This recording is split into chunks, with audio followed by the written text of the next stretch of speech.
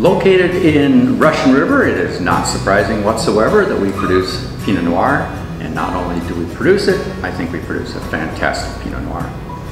We, on the estate, grow all our own fruit and have a multitude of different clones of Pinot Noir to work with.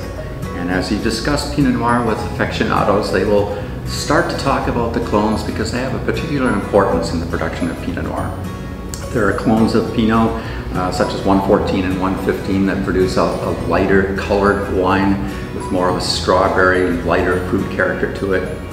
A little bit of spice. As you get into some of the heavier clones like 667 or 777 or Pommard that we're planting currently, you'll see bigger, richer, darker wines uh, with more dark fruit character.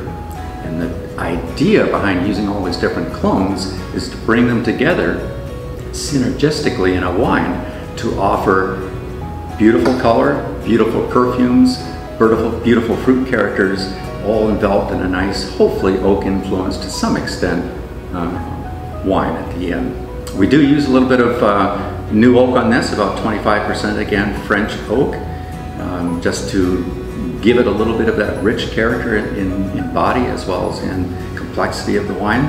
And the result is something that offers, or not something, it's a wine that offers beautiful, intense fruit character, has spicy notes to it, some floral influence, as well as on the palate, just big, rich, dark, intense fruit characters that linger on the palate. So join me in some duck and some Pinot Noir.